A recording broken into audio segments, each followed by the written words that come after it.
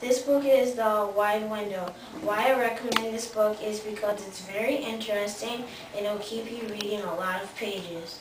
When you read it, the Baudelaires are trying to get away from Count Olaf, who's trying to steal their fortune that their parents left behind when they died in the fire.